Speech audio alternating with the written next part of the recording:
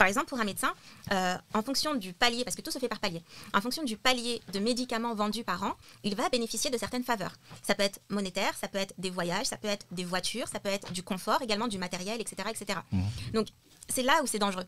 Parce que quand on se rend compte que 10, 10 lobbies, 10 groupes sont capables de mettre 15 millions sur la table chaque année pour que leurs produits soient mis en avant, à quel moment la santé réelle et profonde est mise en cause?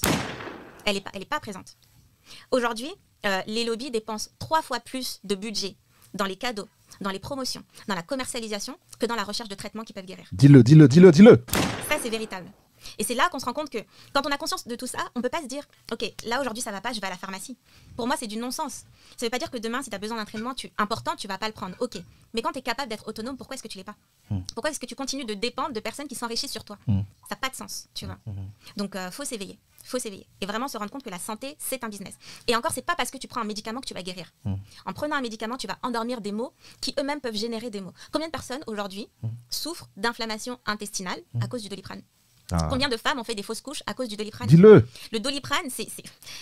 Je vais me calmer. Ma soeur, vas-y, mets le feu, mets le feu, mets le feu, mets le feu, mets le Je feu. vais le cal- Mais en fait, je déteste ce médicament. Il est prescrit tellement facilement. Hmm. Vous allez en pharmacie, c'est donné tellement comme des bonbons. Moi, c'est.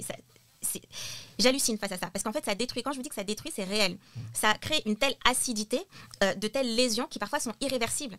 Prescrire des femmes, j'avais fait euh, euh, une petite enquête par rapport à ça. Le nombre de femmes qui m'ont fait de retours en me disant que suite à la prise de doliprane, elles avaient fait des fausses couches, Hmm. des doliprane prescrits par leur gynécologue. On se dit, mais là, il y a un problème. Là, il y a un problème. Et pourtant, quand on lit, euh, quand on lit la notice, il y a une partie où il y a écrit que c'est pas contre-indiqué pour les femmes enceintes sous conseil euh, de votre médecin, et une autre partie où ça écrit que ça peut nuire au développement du fœtus, dans le même document. Dans le même document. Donc il faut se mettre d'accord à un moment donné. Mais s'ils font ça, c'est pour se couvrir. Si demain vous perdez votre enfant, ils vous diront que oui, mais il y a une petite note dans la notice. Donc oui, en haut, c'est écrit que c'est recommandé en fonction de, euh, par rapport à votre médecin. Si votre médecin votre prescrit, vous pouvez. Mais en même temps, c'est écrit que vous pouvez le perdre. Donc vous allez vous plaindre à qui? Vous allez vous plaindre à qui? Ils se protègent de tous les côtés. Donc même dans les notices, il y a des informations contradictoires. Quand on vous donne un médicament, quand on vous dit quelque chose, et même moi, hein, je suis la première à vous le dire, je, je recommande des, des- des- des traitements naturels, je donne des informations. Là, je vous donne des informations, mais vérifiez en fait. Tout ce que l'on dit nécessite une vérification. Si vous avez un doute, vérifiez. Personne n'a la science infuse. Personne n'est né avec la connaissance ultime, même les médecins.